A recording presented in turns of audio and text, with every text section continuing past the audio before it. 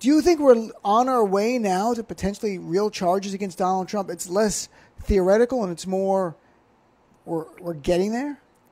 Yes, it, it, it um, Donald is going to be indicted in Manhattan. It hasn't happened because those records that Trump went to the Supreme Court twice trying to withhold from his accountants weren't a million pages, but five million pages. And the prosecutors and their accountants that they've hired to work on this and their other advisors, they have to go through all five million pages. That takes time. They can't just look at them and say, oh, yeah, they've got to actually make sure there isn't something in there that will blow up a case.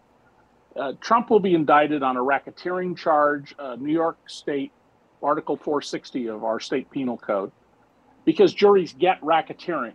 They in a, a tax charge, right. even though Donald says I'm the greatest expert in the history of the world on taxes, he can get out of a tax charge by saying I just did what the accountants told me to do, and the other stuff I said was was fluff. Um, I think that there's that Mimi Rocah, who ran for office saying she was going to investigate Trump's financial games, she will bring a case in Westchester right. County. Uh, the one I want to see more action on is the $107 million of known donations to the inaugural